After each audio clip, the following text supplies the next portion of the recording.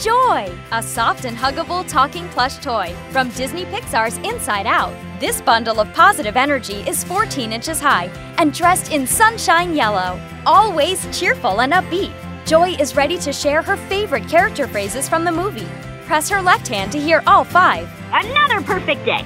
I've got a great idea! Accentuate the positive as you recreate favorite Inside Out moments with Talking Plush Joy by Tomy.